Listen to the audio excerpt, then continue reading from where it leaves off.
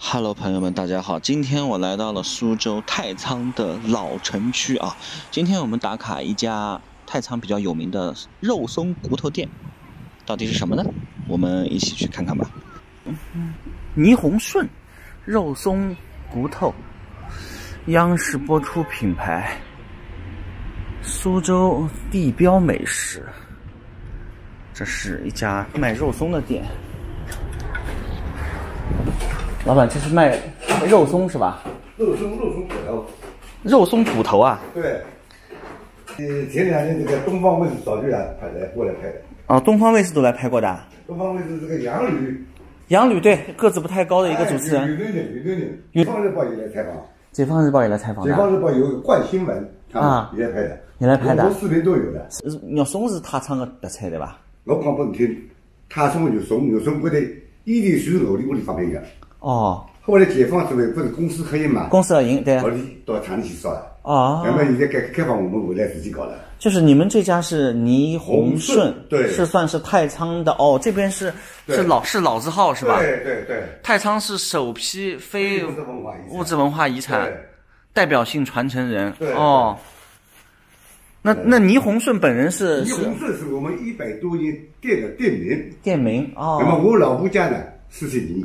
啊，我姓罗，我是女婿。姓哦，侬是女婿。哎，哦，央视也报道过你们的，是吧？央视是九月八号来拍的。啊，九月二十八号播出来的。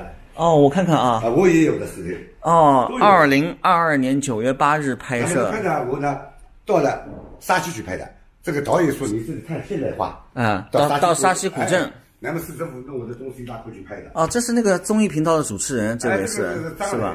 哦，哎，张磊，这个呢是相声演员李丁，嗯，这个我不知道是谁啊，那，这个是上海的黄龄，这是黄龄，对，唱唱歌的黄龄，对，黄龄，对。那您到那边去，主要是介绍您的肉松还是什么？肉松骨头，肉松骨头，对，不是肉松跟肉松骨头是什么事呢？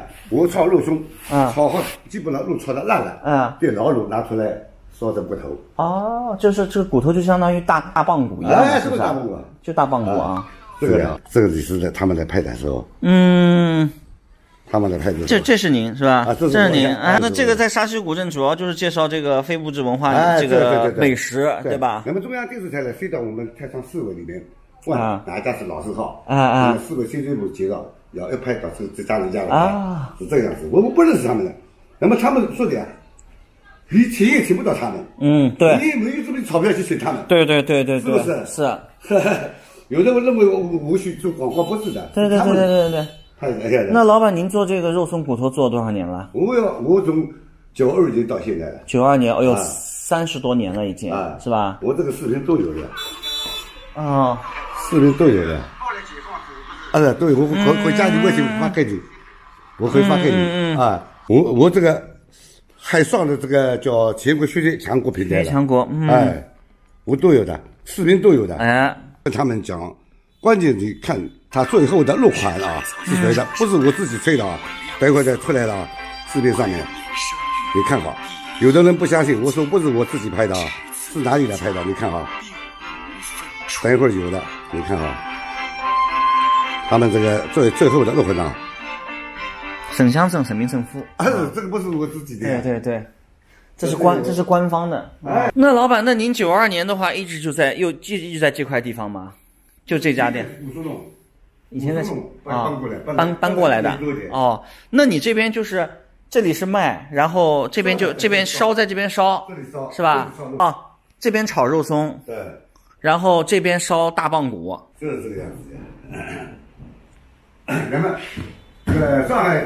那个解放日报有一个叫冠新闻啊，他们也来拍的，也来拍的是吧？苏州的什么早就是他们的拍。我看一下哦，这就是这就是大棒骨是吧？大棒骨，然后现在他们打电话来，要叫我包起来。嗯，哎，那我们这边这个太仓这边这个大骨头，它这个呃这个味道甜吗？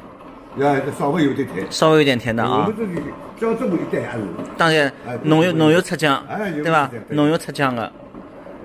那这个就是还没有上，没有到到这个里面去浸浸，要浸一浸的，对吧？这个烧好了之后，这个肉太厚，嗯，怕它不入味，嗯，还放里面泡，嗯，因为这里像个肉厚一样，怕它不入味，怕它不入味，放到酱卤卤汤里面去，去再浸一浸，这样子嘛还有入味。还有是，我看到了，那是那是八角，好像是吧？八角，八啊角，八角。你这个肯定还是卤汤，主要的秘方肯定都在、都在这个卤汤里面的，对对对对吧？哎，太仓我记得太仓出名的是肉松啊，这个这个我倒还不知不知道啊，肉松港六个地方都有。买肉的地方都有，对，就这也是这我就说这也是太仓的特产，对是吧？对，那您这个大棒骨是怎么卖的呢？现在是啊，大部分是是生的还是熟的？这个五十五块一斤，，嗯，五十五块一斤啊，。